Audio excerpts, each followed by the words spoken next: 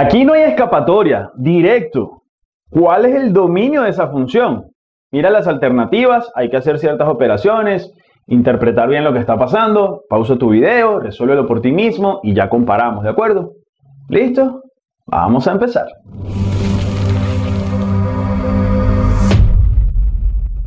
La función tú le puedes decir y como la ves allí o la puedes decir f de x, ¿de acuerdo? Puedes decir f de x o y al final es lo mismo. Mira que es 1 sobre x al cuadrado menos 1. Tenemos esta función como tal y esto es lo que está dentro de la cajita, ¿de acuerdo? Entonces tú dices, para saber cuál es el dominio de la función, recuerda que si lo ves como la analogía de nuestra bella, preciosa y hermosa cajita, donde aquí estaría 1 sobre x al cuadrado menos 1, el dominio tú necesitas que esto siempre me genere un resultado. ¿Qué valores pueden entrar aquí?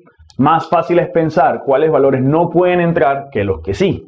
Entonces tú dices, como hay una división de cantidades, 1 en el numerador siempre va a valer 1. Eso no va a cambiar en lo absoluto, pero en el denominador esto varía el resultado porque aquí está la variable.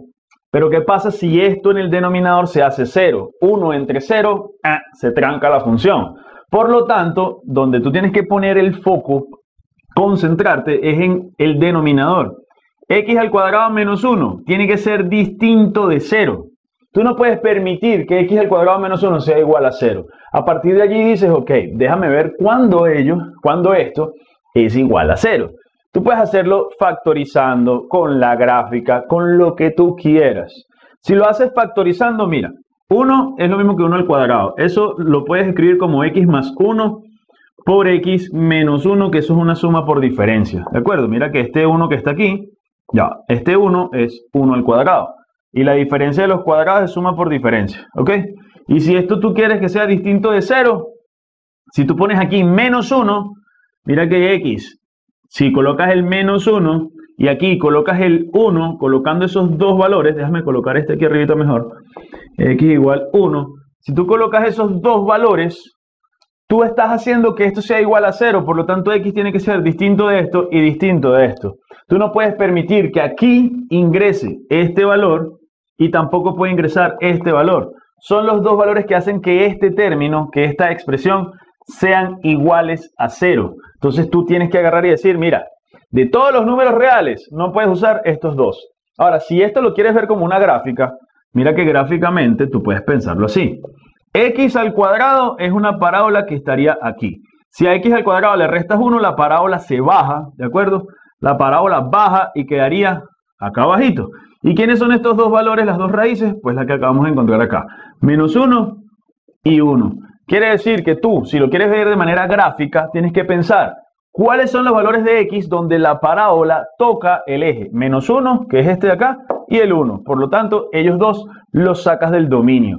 Quiere decir que para nosotros el dominio de la función lo puedes ver así. Son todos los números reales, el menos 1, el 1. Esos dos valores no puedes utilizarlo. Por lo tanto, aquí colocaríamos una bolita sin rellenar. Esto lo vimos en inecuaciones y todos los números reales menos este, que es el menos 1, y este aquí que sería el 1. Eso sería para nosotros el dominio de esta función. ¿Y cómo se representa? Así como lo ves allí en la opción C. Cuidado que tienes que extraer ambos, este y este, que son los dos que hacen que esto sea 0, hacen que se tranca. Porque tú puedes pensar solamente en el positivo. No, que 1 al cuadrado es 1 menos 1, 0 y te dejas llevar por el que dice todos los reales menos el 1. Ajá, y el menos 1 al cuadrado también da 1. Cuando le restas 1 da 0. Entonces ahí, con esos dos valores, se tranca y por eso el dominio de la función se escribe así. ¿Quedó claro? Yo sé que sí. Nos vemos en el siguiente ejercicio. Chao.